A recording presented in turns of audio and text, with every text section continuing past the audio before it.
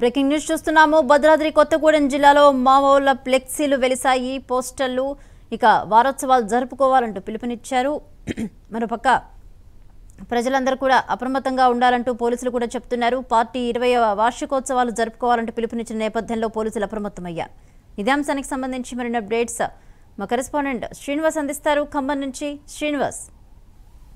ఆ భవాని ఖమ్మం భద్రాద్రి కొత్తగూడెం జిల్లాలో మావోల పోస్టర్లు కలకలం సృష్టించిందని చెప్పుకోవచ్చు. ఎందుకంటే ఛత్తీస్గఢ్ అటు ఒరిస్సా ఇటు మహారాష్ట్ర సరిహద్దు ప్రాంతాల్లో మావోయిస్టులను తుడిచిపెట్ట కార్యక్రమం జరుగుతున్న నేపథ్యంలో ఇరవై సంవత్సరాలు మావోయిస్ట్ పార్టీ ఏర్పడి ఇరవై సంవత్సరాల సందర్భంగా ఆ, ఈ వారోత్సవాలని జయప్రదం చేయాలని చెప్పని ఈ భద్రాద్రి కొత్తగూడెం జిల్లా బూరుగుపాడు మండలం సందెల్ల రాంపురంలో వెలిసిన మావోయిస్ట్ పోస్టర్లతో కలకలం సృష్టించింది. దీంతో పోలీసులు మొత్తం కూడా అప్రమత్తమయ్యారు. ఈ వీళ్ళతో అనుబంధం ఉన్న వాళ్ళు ఎవరు ఈ పోస్టర్లు అతికించిన వాళ్ళు ఎవరు కాకత కాకతాళీయంగా జరిగిందా? ఆకతాయితనంతో జరిగిందా? అనే దాని మీద కూడా ఆ విచారణ చేపడుతున్నారు. ముఖ్యంగా ఇరవయో పార్టీ వార్షికోత్సవం సందర్భంగా వెలిసిన ప్రో- ఫ్లెక్సీలు పోస్టర్లను చూసి అక్కడ ఉన్న వాళ్ళు కూడా ఆశ్చర్యాన్ని ఆశ్చర్యపడ పడ్డారు పోలీస్ బాబులు కూడా ఆ ఈ పోస్టర్లను అతికిచ్చింది ఎవరు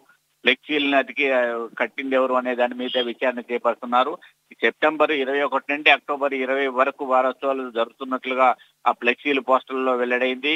గత వారం కూడా ఇక్కడ మావోయిస్టులు కరపత్రాలు చల్లటం కూడా కలకలం సృష్టించింది. ఒకప్పుడు ఈ ప్రాంతంలో కొంత మావోయిస్టు ప్రభావిత ప్రాంతంగా ఉన్నది. వాళ్ళ ఆ, గూఢచార వ్యవస్థ కానీ సానుభూతి పరులు కానీ ఎవరున్నారు? వాళ్ళ ఈ ఈ ఈ ఘటనకు పాల్పడ్డది ఎవరు అనే దాని మీద పోలీస్ యంత్రాంగం మొత్తం కూడా దృష్టి సారించి గ్రామాల్లో గాలింపు చర్యలు చేపడుతున్నారు.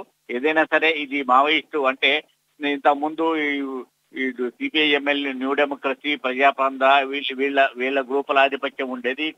తర్వాత ఏటూరు నాగారం నుంచి అటు పినపాక ఇటు పాల్వంత అటవీ ప్రాంతం కూడా కలిసి ఉండటంతో ఆ- ఏరియాలో కూడా మావోయిస్టు ప్రభావం మన దాదాపు ఒక దశాబ్దం వరకు ఉన్నది.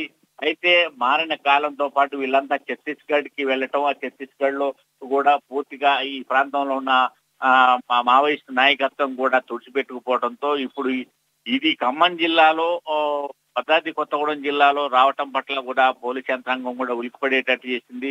ఇది రాజకీయంగా కూడా కలకలం సృష్టిస్తుంది భవాని.